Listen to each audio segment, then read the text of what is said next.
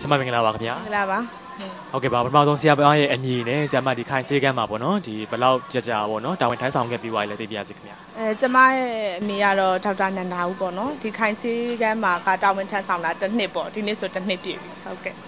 ဟုတ်ကဲ့ပါခင်ဗျာခိုင်စေးကမ်းကနေပြီးတော့အဓိကထားပြီးတော့ကုသပေးနေတဲ့ဒီအခမဲ့လှုပ်ဆောင်ပေးနေတဲ့ဒီကျမ်းမာရေးလှုပ်ဆောင်ချက်တွေဆောင်ရွက်ချက်တွေရှင်သိပြရစီခင်ဗျာ အဲသူကတော့ဟိုလေအဓိကကတော့ဟိုအသက်ကြီးတဲ့လူနာတွေပေါ့နော်အသက်ကြီးတဲ့လူတွေနဲ့အဲမရှိနွမ်းပါတဲ့သူတွေပေါ့ဒီဘက်ကရွာတွေများတော့လေအဲ့လိုစေကုသပေါ့မတက်နိုင်တဲ့လူတွေကိုအဓိကထားပြီးတော့အဲ့လိုမျိုးကုသပေးဖို့ဖွင့်ထားတာပေါ့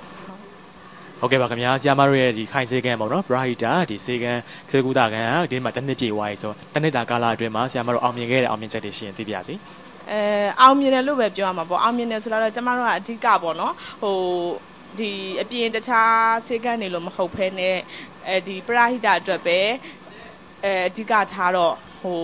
ဒါသမျှလူနာကိုစေတနာထားပြီးတော့ကုပေးလိုက်တယ်အဲလူနာတွေပျောက်ကင်းသွားတယ်ဆိုရင်တော့ကျမတို့ကအောင်မြင်တယ်လို့ပဲ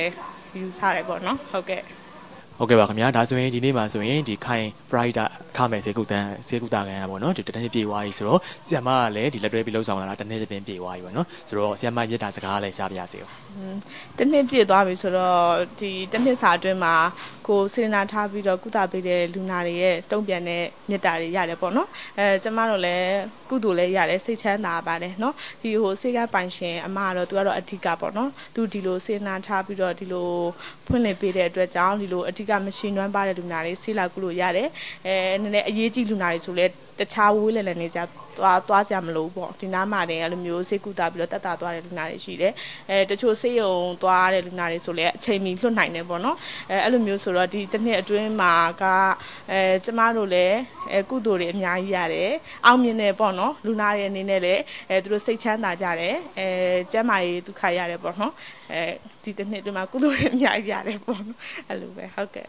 ဟုတ်ကဲ့ပါခင်ဗျာအခုလိုမျိုးကျွန်တော်တို့ရဲ့မင်းမြန်သမျှတွေကိုချိန်တစ်ခုပြီးပြန်လည်ဖိတ်ကြားပေးသွားတဲ့အတွက်ကျေးဇူးထူးပဲတင်ရှိပါတယ်ခင်ဗျာအဲအခုလိုလာရောက်မင်းမြန်းတဲ့ MRD ကိုလည်းထူးပဲကျေးဇူးတင်ပါတယ်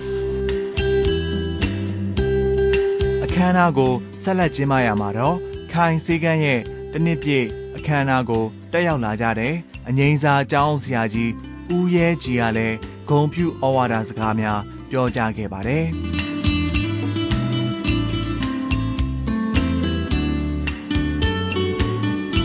မမင်္ဂလာပါခင်ဗျာမင်္ဂလာပါသားရဲ့ဟုတ်ကဲ့ပါဒီနေ့ခိုင်ကုသိုလ်ဖြစ် Brahita စေးကမ်းရဲ့တစ်နှစ်ပြည့်အခမ်းအနားကိုအပါတက်ရောက်ဖြစ်ခဲ့ပုံလေးသိပြရစီခင်ဗျာ။ဩဒီနေ့ခိုင်ပရဟိတစေကံတက်ရောက်ဖြစ်တာကတော့အဘကဒီဒေသကမဟုတ်ပါဘူး။ကြရပြည်နယ်လွိုက်ကောပါ။ဒီဒေသမှာဆောင်းတွင်းမှာလာနေတဲ့အခါမှာဒီခိုင်စေကံလေးကိုလာလာပြီးတော့ဆေးပြဆေးလာကုသခံရပါတယ်။ကုသခံရင်းနဲ့မခိုင်နဲ့စကားပြောပြတဲ့အခါမှာခင်မင်ရင်းနှီးသွားလို့ဒီနေ့တစ်နှစ်ပြည့်မြောက်တဲ့ စေကံနှစ်ပတ်လည်နေလေးကိုဩဝါဒကထာတယောက်ချီးမြှင့်ပေးပါဆိုလို့အဘဒီကိုရောက်လာခြင်းဖြစ်ပါတယ်သားရဲ့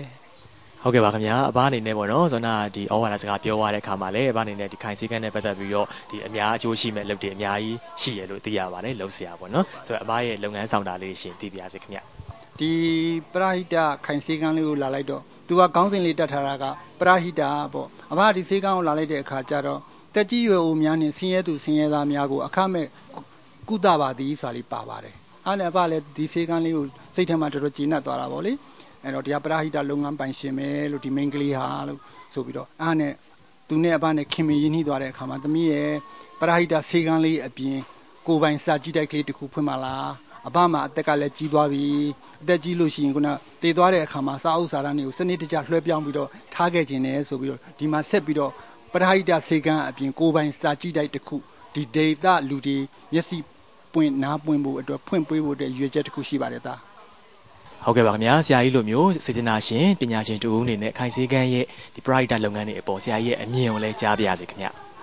ဒီခိုင်စေကံရဲ့ဒီပရဟိတလုပ်ငန်းကိုဒီမက်ခိုင်ဆိုတဲ့မင်းကလေးကအသက်အားဖြင့်လည်းသူ40ဝန်းကျင်ပဲရှိပါသေးတယ်ပေါ့နော်။သူကဒီခိုင်စေကံလေးကိုဖွင့်လှစ်လိုက်တဲ့အခါမှာ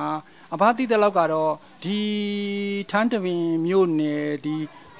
ဒိတ်ကုံပေါတန်ပတ်ဝန်းကျင်ဒေသပုဂ္ဂိုလ်များဟာပေါ့နော်။ဒီကျမ်းမာရေးအသိပညာအခြားအသိပညာတွေအင်မတန်နှင်းနေတယ်လို့အဘစိတ်ကမှဆိုင်ယူတယ်ပေါ့။ဒါကြောင့်ဒီကျမ်းမာရေးပညာနဲ့ပတ်သက်လို့အထူးသဖြင့်ပေါ့သားရဲ့ဒီလိုစေကန်းတစ်ခုကိုလာပြီးတော့မှီခိုနိုင်တဲ့အနေအထားမျိုးရသွားတယ်ပေါ့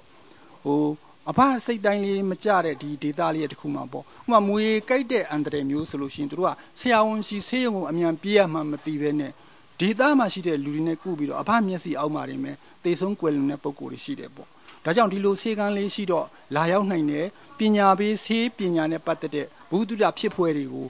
ပြောနိုင်တယ်ဆိုတော့ဒါလေးတွေပေါ်လာမှာပေါ့အဲ့တော့ဒီတက်တိုးချက်ပြီးတော့ဒီဒေတာမှာရှိတဲ့တာဝန်ရှိတဲ့လူတွေကိုဆေးပညာနဲ့ပတ်သက်ဒီကျမ်းမာရေးပညာနဲ့ပတ်သက်လို့ဘုဟုတုတပေးဖို့လေးတွေဆက်လိုတယ်လို့လည်းအဘထင်ပါတယ်ဒါလေးရဲ့